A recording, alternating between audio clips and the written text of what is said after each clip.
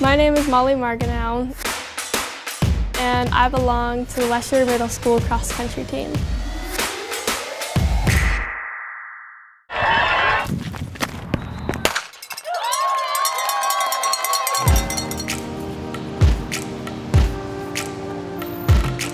I think the best part of being on a team is the people. Like everybody is just super kind and like accepting of one another. And I think that's because we all know we're in this sport together. We all know it's really hard and difficult, but we all know that we're in it together and that we'll like cross the finish line together.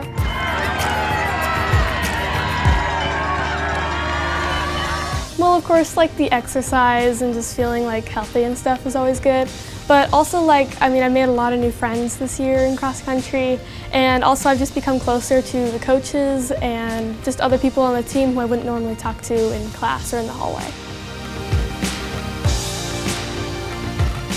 Think it feels just great knowing that you belong to something that other people experience alongside with you. Coaches do this thing where they give out shoelaces to kids who they think may have improved most or just really awesome people. And when I was in sixth grade, I first won my laces and I just remember feeling like this connection to the coaches and the whole team, like, and I just felt like, oh, I can do this. I am part of the team.